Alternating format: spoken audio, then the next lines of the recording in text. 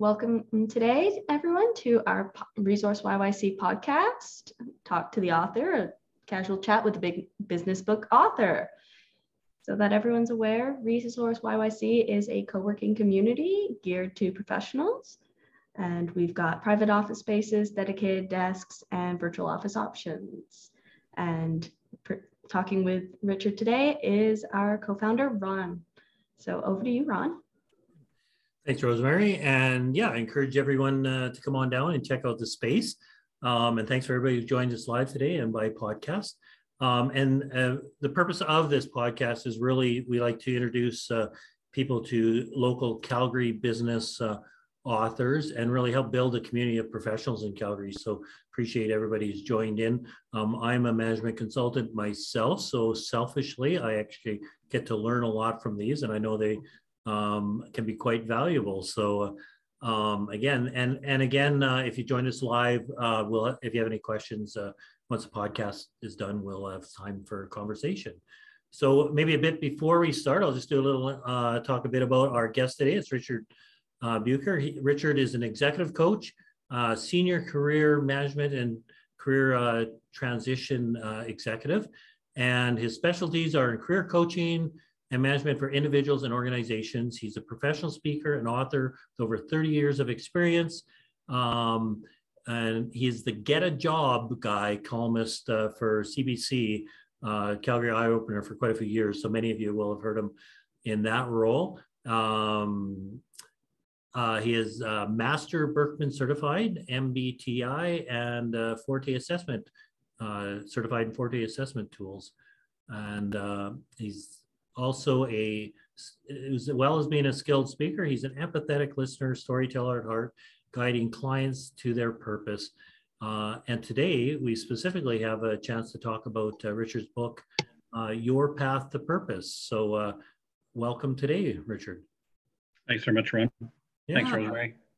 And uh, and you are uh, so you're a Calgarian. Uh, well, I, I, I, should be careful about saying this, but originally I'm from Montreal, but I have been uh, Western Canadian uh, since the 1980s, the Calgarian since 1980.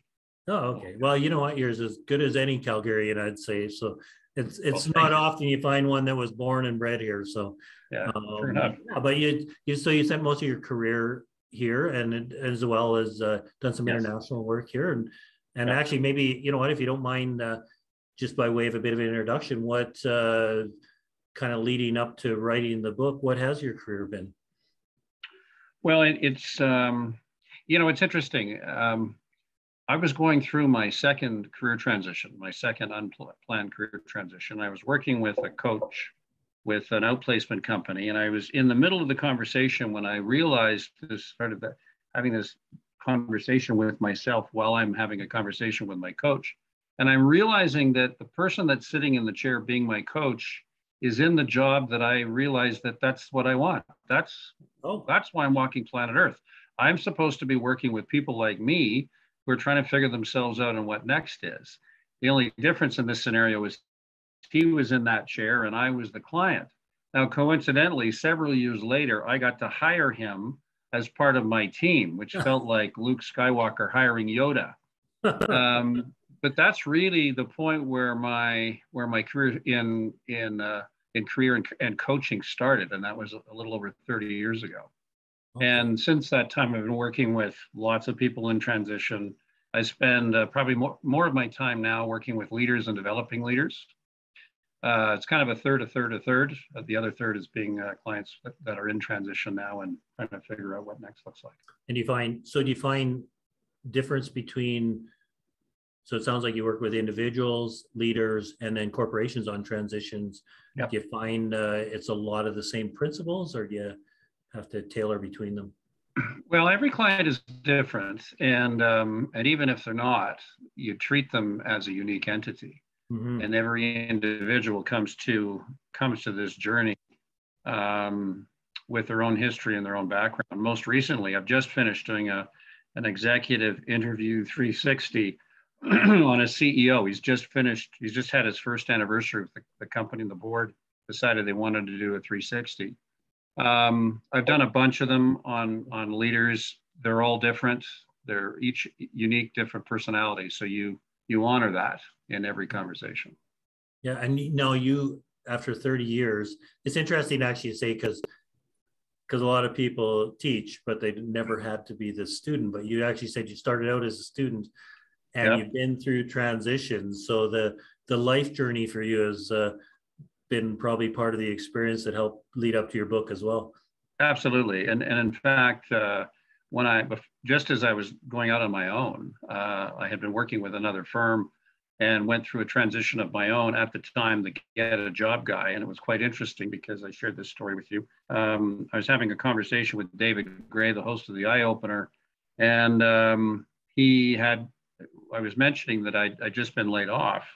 And he said, So the get a job guy needs to get a job? Is that what you're telling me? and uh, what's that like? And I said, Well, you know, I, uh, he and I had had lots of conversations. So uh, he's aware of the kind of advice that I give. And I, he said, well, how would you rate the quality of your advice? I said, it's exceptionally good. uh, it, it's even better when you follow it. But I have to tell you, as the person that now has to follow my own advice, it's exceedingly annoying. you know, I it's interesting. So I've been through transition, and I actually think if there's one city where people know about transition, it's Calgary. Oh um, on the good times, the, even on the good times, people are transitioning all the time, let alone the, the last, you know, since 2015 has been quite yeah. the, quite the path. And now we're on the other side of it, but there are so many people in Calgary uh, going through transition. And, uh, you know, it's what, it, it's a tough slog because so I so I went through your book and went, you know, some of this stuff it's really good to to reiterate and read. And then when the time comes you have to put it into practice right? So yeah. um, which is actually a good segue to your book because uh, um, you know right the right the first page um, and you know it had some introduction and just some comments on your book but it was described as a practical how-to uh, piece and so many books fail to provide uh, that how-to portion of it so so maybe actually just talk a bit about how your book is set up and how you because it's more than just academic reading material. You actually have set it up as as a bit of a workbook, right? Absolutely, and and I think it's it's probably best described. Well, in fact, I'm not going to describe it for you. I'm going to let the clients that uh, the readers that have bought the book. Um, and I'll, oh, I'll, sorry, I'll, it just cut out sound cut out just for a second. Okay, sorry. So I'll, I'll, share with you what people who have read the book have told me what yeah. it's like. Uh, most of the people that have a copy of this book know me. Uh, and some of them know me well, and, and many of them ha- have been clients of mine. Mm-hmm. And uh, every one of those people has said, reading your book is exactly like having a conversation with you. It's like having you in the room. It's like you're in my head and I can hear your voice. And uh, to which I usually say, well, I'm profoundly sad for invading you, or sorry for invading your personal space. Uh, but they say that, but that's why it works because often what the way books come across is, uh, you know, like you read a book by Eckhart Tolle or Wayne Dyer. These are mm-hmm. thought leaders, the the modern day um, uh, mystics, really. Yeah. Uh, they're brilliant, brilliant people who've been steeped in, in their area of expertise for a really, really long time. And it, it can be a real stretch for for us ordinary folk to to read that read that content and connect to it. Um, so what I was trying to do with this book was really stand with the reader, shoulder to shoulder, looking at what they're looking at, and so the two of us sort of explore it together. So you'll recall when we were talking about it, I've had my half of the conversation with the reader in what I've written, and you're going to have your half of the conversation with me in what you write. So if you thought about this book as a conversation, that's a really good metaphor. And, and so through a series of reflections, I give the reader a bit of content and then I give them, give them some questions on that theme to help tease out the pieces, the threads that then become the core that is their purpose. Uh, and so ultimately, when you get to the chat to the last chapter, that's entitled "So What," it really is intending to pull all of the learning from all of the chapters uh, into uh, what is a what's what is a chart that the center of which is the word purpose. Mm-hmm. So you start to understand all the little pieces that make up the reason I'm breathing. Well, you know, it, it actually it, it's a it's a self assessment tool in many ways, right? But it, it's Yeah. a self it's it seems like it's a really a self discovery tool. Um, and when you're going through transition, it's interesting because uh, you know a lot of transition is very tactical, right? Uh, you know, here's Yep. your resume and a lot of tactical things, but but you've wrote it uh, more from that understand yourself, and then then go you know then then approach what you want to do. So so maybe actually what prompted you to write it that way Yeah. um and because it is different than other books so so how did Yeah. you decide in the end to write it in this format in this way Well, it's interesting because if you've ever been through a career transition program, if anybody on this call has been through one, they'll understand that often the first thing the career transition company does or the coach does is administer an assessment instrument of some kind. Myers Briggs, Birkman, you know, whatever. Uh, and that's intended to connect to this inner part of you, your innate preferences. Well, uh, when I started this book, it really was born out of the fact that for probably more than 30 years, every week over those 30 years, I'd had people come to my door two, three, five, eight people, primarily with the issue that I have no idea what I want to do. Thinking about going back to what I was doing before is making me ill. I don't know what I want to do when I when I grow up. Uh, I, I fell into that career and I, I'm not sure whether it's something I want to keep on doing. I'm not even sure why I have this degree. I just don't know what to do next. Yeah. I'm, I'm just lost or any, and any iteration of that. So I thought there's a bigger question here behind people that are in the middle of a transition they hadn't planned on. And it isn't helped by going through multiple transitions because we're, we're skipping uh, stones across the surface of a pond and we're not getting to the essence of what the person is. So if we can get inside to figure out why why do these things come naturally to me? Why am I really good at this?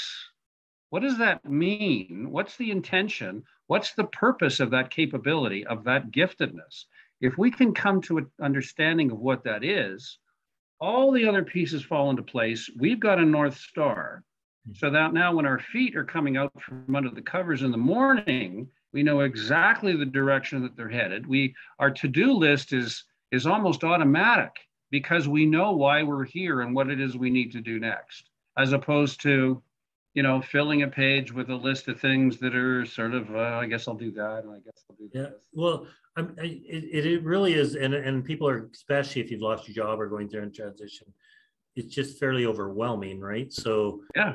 it what i found is it's a methodical way to kind of get your thoughts together too right um, Yeah. and and it really is just like you say to get to know yourself get to your north star but i would imagine even with best intentions um, if you don't take a methodical approach um, you're probably going to be pulled especially under a stressful situation you'll be pulled in a million directions so um, Yeah. so it looks like and, and maybe we can actually talk about you know you've broken the book down into uh, some kind of sections that are methodical right so um, the first one um, you know and we talked a bit about it before but it's a conversational style but the first seems to me the first section is really about really your purpose and understanding your inner self right so you want to speak to a bit about what that what that process is there Well, yeah. So it, it's um, um,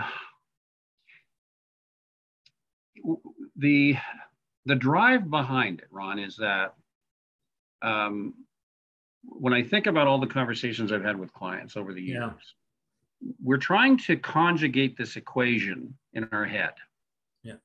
We're trying to use our mental capabilities, our, our emotional intelligence, not our, sorry, not our emotional intelligence, but our intellectual quotient to solve this problem. Uh, you know, many clients and readers have said to me, if I just knew what the options out there were, yeah then I could decide what I want to do next. The only problem is that they'd be dead for a, de- a decade Yeah. before before they'd finally looked at all of the options and then decided the one that they want. It's kind of like saying, and sorry, I'm digressing a bit, but it's kind of like saying if you had a son come home, came home and said, well, I'm I haven't just, I'm, I, I want to get married, but I don't know to who. So I'm going to travel the world and I'm going to meet every woman of the, the age I'm interested in everywhere in the world. And then by the time I get back to Calgary, then I'll know who I'm going to be. Now I'll know who I'm going to marry. The problem being is the person would be dead for 10 years by the time they got back here. Yeah. And they wouldn't be any clearer. So what I tell my clients and what the first part of the book is really about is the answer to your question is not found out there. It never was going to be found out there, and it won't be found out there today. It's going to be found right in here. Yeah. Notice where I'm putting my hand. I'm intentionally not putting it on my head. It's over my heart. Yeah. That's Well, where the answer. That's where the answer is. Yeah. And you said, And th- oh, go ahead. Sorry. and then it's going to be expressed out there. So I'm when I figure out what my purpose is, I am going to express it out there, out in the real world. But if my exploration is excluded to what's outside my office window right now, uh, I'll have another birthday before I get any closer to the answer. And the only thing that'll happen is I'll be a year older. Yeah. Well, actually, well, just first of all, actually, yeah, the mic, the sound cut out a bit when you backed away. So, so Oh, you're sorry. Uh, no problem. Uh, but I think we caught that. And I was going to say, you had talked before a bit about some signposts really to help people along that that little discovery session there. What do you what do you mean by the signposts? Well, these, the, you know, early early conversations, and in the, folks will see this in the book, is Mhm. um, I'll ask people, um, what do you really love to do? Mhm. Um, what are you really good at? Um, what does your world need you to do? And then what can you be paid to do? And some people will recognize that, well, that, sounds like ikigai. And if you don't know what ikigai is, Yeah. Google it. And even if you don't know how to spell it, Google will know what it is and it'll, it'll show you. You'll see some similar content. It's a Ja- based on Japanese philosophy that's about 4,000 years old. Um, but I will also always look or encourage the folks I'm talking to, or that either through my book or we're talking live, um, to think about what have I always been good at? Wh- what am I doing when I lose track of time? What do I really love to do? Because those are the signposts that are pointing us in a direction. So, um, your background is engineering, Ron? Yeah, operations engineering, you betcha. Okay. Now we could agree that. Uh, so you have a you have a BSc engineering. Uh, tech, but then a master's. Okay. Okay. So then a master's degree in engineering and a and a and a diploma in in, uh, in engineering. So Probably obviously, worse, probably worse. I'm an MBA, but okay. I've All totally mixed myself up. But yes, I hope that doesn't mess up your analogy. No, no, no. But but my point being is that we could agree for for someone to be successful pursuing that line of study, Yeah. they have to have some measure of aptitude in order to do it successfully. And if we want to really look analyze that, well, how did you get how did that happen? How did you end up with that innate capability, with that innate giftedness, if you'll accept that that frame? So wa- was it God or the universe that spun a bottle and it landed on engineering? Like, is that what happened? Well, it our our purpose is programmed into our DNA. Yeah. And our DNA comes from our mom and dad and their mom and dad and their mom and dad back and back and back. It's absolutely not even close to being an accident that you're good at what you're good at or that Rosemary's good at what she's good at. And that's a big frickin' road sign saying, walk this way, not that Yeah. way, this way. Yeah. So that's that's huge. And you know, I, I mean, and in having this conversation, thinking about all the people that I've talked to, especially in Calgary, and especially the people that came out of the oil and gas industry, right? Because Mhm. you know, there was they knew what they did, they knew they do it, did it well. Um, and then it all collapsed out from under them. And a few people have had some really difficult time transitioning. But I've watched some people really transition to something that that didn't seem to be them, right? Yeah. Um, and I'm not sure, you know, I think a lot of people had no choice, but it sounds to me like, you know, putting some time and thought into it, you can actually be a little more deliberate deliberate about those directions then.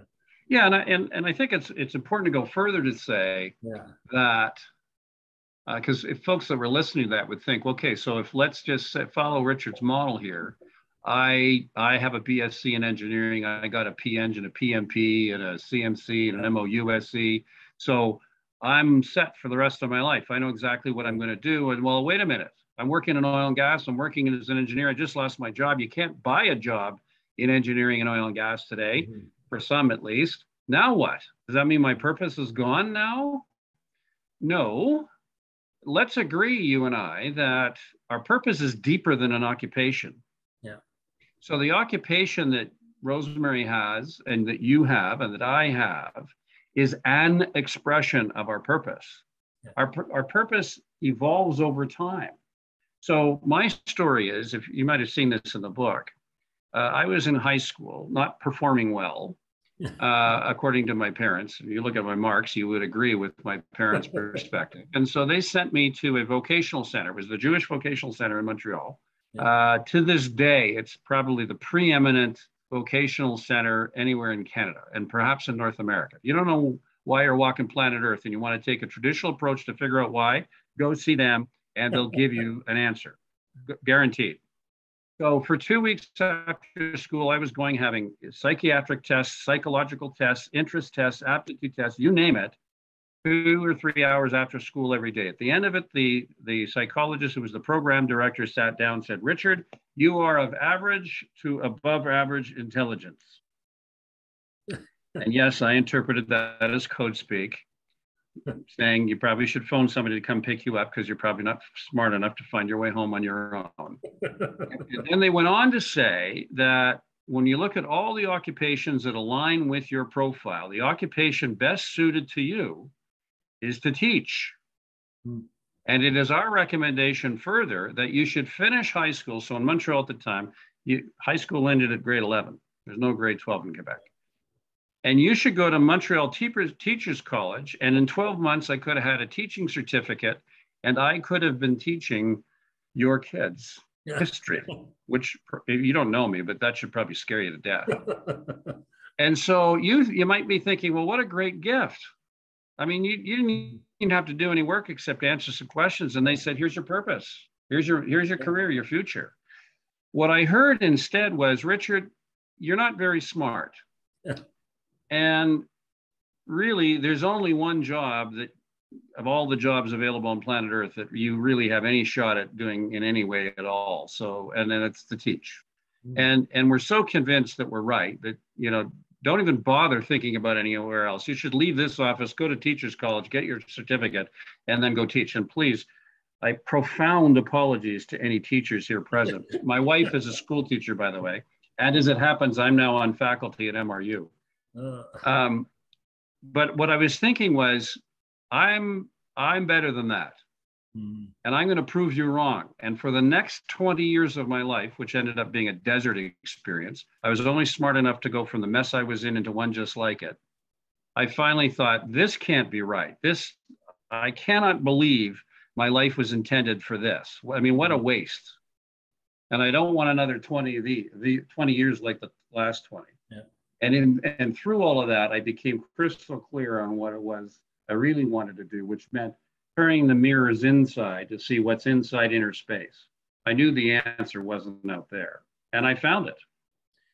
So the book is not academic; it's very oh. self-awareness and self self. It's the journey you're on, and actually, so so I do have to. There are some things in there though that uh, you have that that are. Uh, you know, I've read it, but maybe you can speak to it because you actually talk about your inner and external elders, right? Mm-hmm. And and and understanding yourself. So we talked a bit about understanding yourself, but what do you mean by inner and external elder? So I, I borrow from and with with um, with deep respect for uh, our indigenous uh, our indigenous people um, you you may know, and I don't profess to have a deep understanding of of um, of their spirituality, mm-hmm. but in, in their communities they have an they have elders, and the elders are the keeper of the knowledge. So unlike uh, European uh, culture or Western or Western culture, our history is written down, and as we're starting to learn the written the history that we've that we studied in school isn't even close to what actually happened. There's a whole big chunks of it that weren't even talked about. So, but their history is all passed down through story. And so um, members of their, of their culture learn about themselves, their language and their culture through these elders. And they are the repository of all of this wisdom and all of this knowledge. Well, as I started to explore that further and through a lot of the reading that I did, I discovered that we have external elders, and we can talk about that and how you'd apply it through the methodology I talk about in the book. But we also have this wisdom within ourselves. It's it's all this information that we take in every moment that we're alive, every day that and through our conscious conscious part of the day when our eyes are well not necessarily open, but when our senses are awake.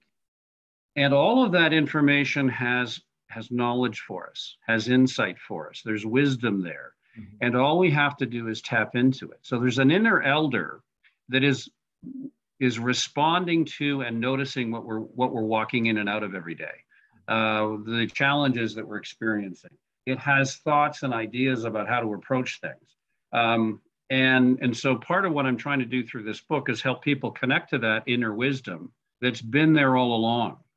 Uh, I talk a little bit about, you may have come across this, about peripheral senses. So you go through your day, and even right now, so I can see Ron, I can see uh, Rosemary, I can see Bruce, and then I can see the names of the other, hi Bruce, I can see the other people that are on the call.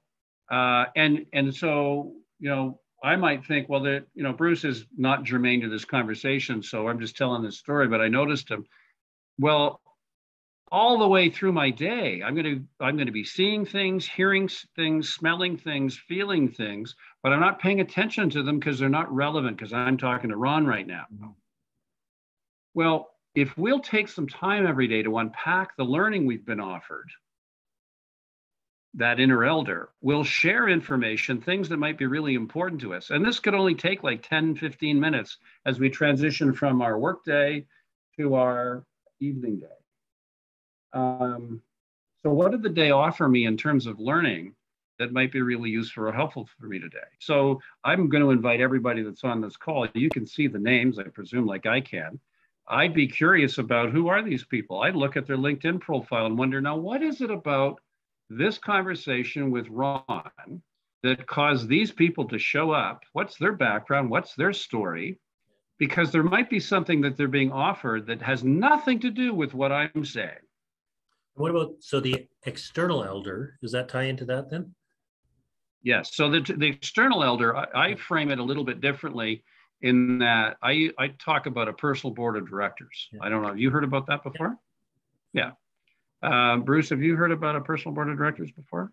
Oh, he's unmuted. I know he is. Well, he can nod or no. Yeah. He can say yes or no.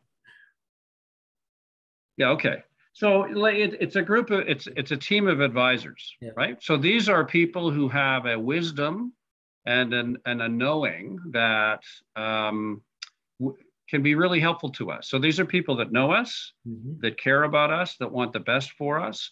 These are people that would we would reach out to when we have uh, uh, a point in our life where we're at a crossroads. We need some insights, some, di- some different perspectives, some input, and we consult with those elders uh, to seek their wisdom and, and, just sort of lay out for them here's what where i'm at. Here's what i'm seeing. Uh, i'd appreciate your view your wisdom. What do you think? So we have that conversation. You know i, I think it's an important point because a lot of people go through their journeys even and, and i suspect you know it's not even people in transition. It's executives people in yep. jobs who do it as a solo sport right? And yeah. life's not really a solo sport. In fact you, you're only looking one way right? So totally. uh, you know, yeah. the last time it was important that you did it all by yourself was when you, I'm not sure what age it is, but it would have been about the time you transitioned from diapers to pull ups. Yeah. I did it all by myself. That's the last time it was important that you did it all by yourself. And as a parent with a, well, my son's now 26, so we're well past that. But, but beyond that, you don't get extra points for doing it all by yourself. Oh, and if so. you're sit, if you're sitting in a, in this call if you're in a place in life and you're not sure what next is and you're trying to do this all by yourself, that's profoundly stupid. Yeah. Why would you do that? And by the way, I tell it, it, it, you'll see this, it's in my book. Everybody that that has a copy of the book has an hour of my time and it won't cost them a nickel. And I'll go further than that to say that anybody that's on this call today that wants to have a conversation with me, you have an hour of my time and it won't cost you a nickel. And I won't bring a book because you can't, you won't be able to buy it from me. And I won't sell you a damn thing. Don't don't bring your card, your credit card, or your checkbook. I'll even buy the coffee. Perfect. Well, so so we're actually we're going to try to keep the podcast portion within reasonable within a half an hour, but I'm going to say so. So I think you kind of got into it actually. So on, you know, outside of the book, this is really a bit of a workbook that you use um, either formally or informally in in yep. what would be a consulting role or or when you're speaking with clients and executives then absolutely and and it has application beyond me figuring out my purpose yeah. to and, and we talked a bit about this the other day. Imagine a team where every team member knew their purpose. Yeah. Every team member knew their job's purpose. Mm-hmm. every team knew its purpose and the organ and they worked for an organization that knew its their purpose. Yeah. imagine what that would be like. So it has application within an organization. I'm going to do a retreat with the senior leadership team of a cryptocurrency company coming up a week after next. And, and this is a newly formed company in, an, in a growing and leading brand new industry. Yeah. They better be rock solid on why they're doing this. And it's not just about making money. Otherwise, what's what's the glue that's holding them all together? Yeah, I think more more and more people are not the days of working just for an income is over. It's it's it's about purpose. Even if people can't articulate it, they are looking for a little more purpose, right? So exactly. Yeah. So okay. So I'm gonna just a couple things. I'm gonna trans. Is there book two or is there revisions of this book? What's your next writing uh, adventure going to be? Well, so I'm, I'm working on a, a, book called Five Pillars of Sustainable Career Mastery. Yeah.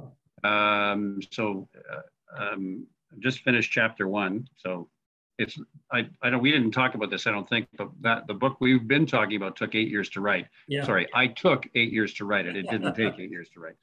This one will be finished much sooner. Uh, this year for sure, uh, and and probably long before the end of the year. Um, and then I'm working on some other content, which is sort of encapsulates a little bit of what we what we've been talking about. It's branded as uh, six weeks to traction. I'm going to be uh, running that through uh, APEGA actually, and also mm-hmm. through the Calgary Public Library for folks that might want to know more about it. And so it, would be the same, like it, it, really, these are, these aren't academic books. There's another one, same, it sounds like no. almost like a workshop again, a workbook to go along with the practical stuff. Yeah, and the, and the five pillars is really about how do I run my career in a way that has me going in the direction and sustaining the direction that I want over the course of a lifetime. The six weeks to traction really is about I'm stuck I'm profoundly stuck. I'm really, really badly stuck. I don't know what to do. Nothing I'm doing is working. Now what the hell do I do? So that that content is to address that situation. Oh, cool. Uh, well, that would be that would be a good part two to this. And uh, any advice? There might be someone on the line who says, "Hey, I want to write a book." What's your advice? Um, well, I'll give you the advice that I got from yeah. one of my clients who became an author. Um, and this will sound silly. Start writing. Yeah. like if you if you've decided i want to i want to write um, i'm going to guess you have an idea. Mm-hmm. and i'm going to encourage you today before this day is done before your head hits that pillow write a page. Oh. i don't know what to write about. It's really hard. I don't know what to do. Oh shut the hell up and just start writing. That's what she told me. Just shut up and start writing. Oh, yeah. well i don't know what the chapter headings are. I don't even know what it does. Shut up and start writing it's just and that made the difference. That and I told you when we were talked about this, I had a journal yeah. and I was physically writing longhand my book. And it for years, that's the only copy that existed. And so, I'd open the book and I just start the pen would move across the page. So for all the engineering types like myself, you don't have to actually have it all laid out ahead of time. No, and and it's a cool problem to solve because you're going to build content. It's not like you don't know what to talk about. There's lots of stuff that you can add. Don't worry about flow. Don't worry about where this belongs as compared to that. Yeah. Um, you, I have an editor that, and I gave the whole manuscript to, and I said, Karen, here you go. And she had worked on my master's thesis and worked with me before on other stuff, and so she knows how I think um, and I'll introduce you if you're ever if you get to the point where you have a manuscript you want to work with. And she she organized it in all of the chapter headings, oh, and uh, and it worked out great. Good. Well, and and it sound actually, if you wrote it over that period of time, I mean, very personal too, because it was literally yeah your thoughts and writings of the day. So that's yeah. great advice. So so we'll see how yeah. many people write their first page after today. Yeah. Um, I'd be I, happy uh, to read whatever you're working maybe, on. I maybe maybe I'll start my book today. Uh, so there you go. Good. You know, um, tons of stuff. I could chat with you all day, Richard, actually, but actually we do want to, you know, um, for anyone that does want your book, and we talked a bit about this before, or want to get in touch with you, what's the best way to do that, Richard?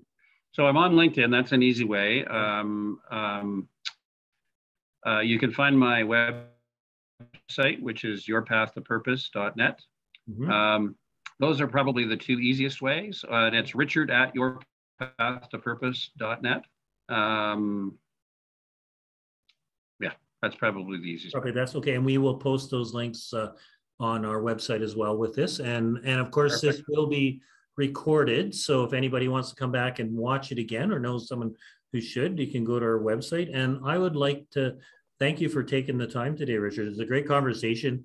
Um, you know, and, and it really is, it's probably timeless uh, conversation, but really timely in Calgary because it's just been nonstop transition for a lot yeah. of people. So yeah. uh, I really do appreciate your time. Actually, thanks, thanks again. Thanks. anything, and actually, uh, maybe just one last word. Is there anything we didn't talk about that that we should share before we end? Uh, how much time you got? okay. Well, uh, one nugget. um, yeah, um, the tagline to the book it's enough to be on your way your path to purpose uh, remember no matter where you are in this whole process yeah. remember it's enough to be on your way. Yeah. Good advice. Enough to be on your way. Hold that. Hold that in your heart. That's good. if you're on your if you're on your way at all way to go. Keep the faith. It's you're, you're it's going to work. It's going to good well thanks for any on that advice. Uh, rosemary i'm going to hand it back to you and when we're wrapped up anyone who's joined us live, we'll have a Q&A time with Richard. So thanks again. Thanks, Ron. All right. Thank you, Ron. And thank you, Richard. That was a great conversation. And I hope everyone can join us for another one of our podcasts in the future. All right. Bye.